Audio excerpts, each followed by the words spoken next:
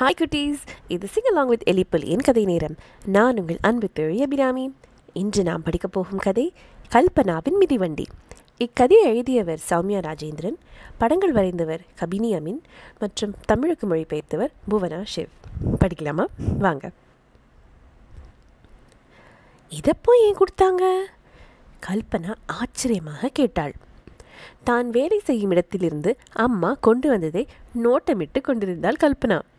அந்த மிதிவண்டி புதியது போலவே இருந்தது. அம்மா சாதாரணமாக அவங்க வேற வாங்கிட்டாங்க என்றாள். கல்பனா மிதிவண்டியில் ஏறி உட்கார்ந்தாள். டமால்! கீழே விழுந்தாள். பிரபு சிரித்தான். உன்னால ரெண்டு சக்கரத்தில் சமநிலைப்படுத்த முடியல. முதல்ல நீ மிதிவண்டி ஓட்ட கற்றுக்கணும் என்றான். நீ எனக்கு கற்றுக்கூட அவனிடம் கெஞ்சினாள் கல்பனா. ஆகவே இருவரும் தினமும் மாலை பள்ளி முடிந்த பின் பங்களா சாலைக்கு சென்றனர். அங்கே அவ்வளவாக வாகன போக்குவரத்து இருக்காது. பெரிய நாய்கள் காவல் காக்கும் பெரிய வீடுகள் மட்டும்தான். இவர்கள் குடியிருக்கும் பகுதியில் உள்ள எல்லா சிறுவர்களும் அங்குதான் விளையாடச் செல்வார்கள். முதல் நாள் பயிற்சி தொடங்கும் வரை கல்பனாவால் காத்திருக்கவே முடியவில்லை. ஆனால் டமால்! கல்பனா கீழே விழுந்தாள். அவளது கால் முட்டி எரிந்தது. அழக்கூடாது என்று நினைத்தாள். ஆனால் அழுது விட்டாள் விம்மி விம்மி அழுதாள்.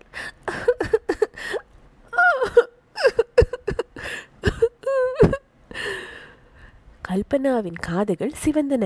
மற்ற சிறுவர்கள் சிரிப்பது அவளுக்கு கேட்டது. மிதிவண்டியை அப்படியே போட்டுவிட்டு வீட்டுக்கு ஓடினாள். நண்பர்களுடன் மட்டைப்பந்து ஆடி முடித்த பின்னர் சூரியன் மறைந்த பின்னர் அப்பா வாகன பட்டறையிலிருந்து திரும்பிய பின்னர் பிரபு அதை ஓட்டிக்கொண்டு வருவான். அவனுக்கு தான் ஓட்ட தெரியுமே.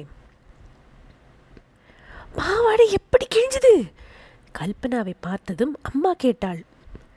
மிதிவண்டியிலிருந்து விழுந்து விட்டேன் என்றாள் கல்பனா. அம்மா பெருமூச்சு விட்டாள். இன்று கல்பனா மிதிவண்டி பழகத் தொடங்கி ஏழாவது நாள். இன்னமும் அவளால் ஓட்ட முடியவில்லை. என்ன சொன்னான் அந்த பிரபு அவள் மிதிவண்டியை விட ரொம்ப குள்ளமாம். அவனுக்கு என்ன தெரியும்? இரவு அம்மாவிடம் ஒரு கோப்பை நிறைய பால் கேட்டாள் கல்பனா. அவளது ஆசிரியை பால் குடித்தால் சிறுவர்கள் உயரமாக வளரலாம் என்று சொல்லியிருந்தார். ஏற்கனவே இரண்டாம் வகுப்பு பி பிரிவில் அவள்தான் இரண்டாவது உயரமான பெண். அவள் வீனஸ் வில்லியம்ஸ் போல ஆக ஆசைப்பட்டாள். கல்பனாவிற்கு டென்னிஸ் விளையாட்டை பற்றி எதுவும் தெரியாது. ஆனால் பிரபு ஒரு முறை வீனஸின் படத்தை காண்பித்திருந்தான். எவ்வளவு பலசாலியா இருக்காங்க என்று கல்பனா வியந்தாள். கல்பனா அவ்வளவு பலசாலியாக ஆனால் அவளை யாருமே தொந்தரவு செய்ய மாட்டார்கள். கல்பனா தூங்கும் முன் பிரார்த்தனை செய்தாள். இதற்கு முன் அவள் இப்படி செய்ததில்லை. அடுத்த நாள் மாலை நிச்சயம் மிதிவண்டியை ஓட்டி விடுவோம் என்ற நம்பிக்கையோடு இருந்தாள் கல்பனா. அவளுக்கு மிகவும் ராசியான சிவப்பு நிற கிளிப் கூட தலையில் அணிந்திருந்தாள். கொஞ்சம் தள்ளி விட்டுட்டு என்னை ஓட்ட விடு என்றாள் பிரபுவிடம். அவனும் அப்படியே செய்தான். கண்ணை மூடிக்கொண்டு மிதிக்கட்டையை தேடினாள். அவள் காதுகளில் காற்று இறைய மிதிவண்டி சாலையின் மீது தள்ளாட டமால்! கல்பனா விழுந்தாள். மறுபடியும் இம்முறை வலித்த வழியில் அவளுக்கு மூச்சு திணறியது. யாருமே சிரிக்கவில்லை. எப்போதும் பிறரை எரிச்சலூட்டும் மணிகண்டன் கூட சிரிக்கவில்லை. மருத்துவர் அவள் பள்ளி தலைமை ஆசிரியரைப் போலவே மிகவும் கண்டிப்பானவராக இருந்தார். அவள் கால் பலமாக சிராய்த்திருப்பதாக அவர் கூறினார். காயம் மாறும் வரை கவனமாக இருக்கணும் என்றார். அம்மாவிடம் நீளமான ஒரு மருந்து சீட்டை கொடுத்தார். காயம் மாறும் வரை மிதிவண்டி ஓட்டக்கூடாது என்று அம்மா சொல்ல கல்பனா தலையசைத்தாள். கவலைப்படாதே நீ இப்பவும் மிதிவண்டியில் உட்காரலாம் என்றான் பிரபு.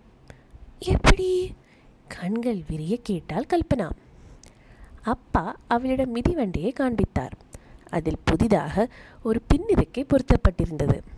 நீ மருத்துவரிடம் போயிருந்தப்போ பொருத்திட்டோம் இழித்தான் பிரபு. நானே அதை சீக்கிரம் ஓட்டப் போகிறேன் பாரு என்றாள். ஆமாம் நீ கண்டிப்பாக ஓட்டப் போகிற என்றான் பிரபு.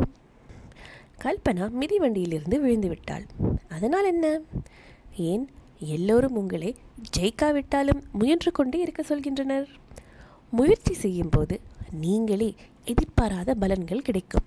உங்களை பற்றி உங்களுக்கே தெரியாத விஷயங்களை அது உங்களுக்கு கற்றுக் கொடுக்கும். கல்பனா முதல் நாளே மிதிவண்டி ஓட்ட கற்றுக்கொண்டிருந்தால் அவள் எவ்வளவு மன உறுதி படைத்தவள் என்று அவளுக்கே தெரிந்திருக்காது. அவள் குடும்பத்தினரும் அதை உணர்ந்திருக்க மாட்டார்கள். சரியா குட்டீஸ் முதல் தடவை விஜய் காட்டியும் பரவாயில்ல. முயன்று கொண்டே இருங்க. கண்டிப்பாக உங்களுக்கு வெற்றி நிச்சயம். மீண்டும் சந்திப்போம். இது சிங்கலாங் வித் எலிப்புலியின் கதை நேரம்.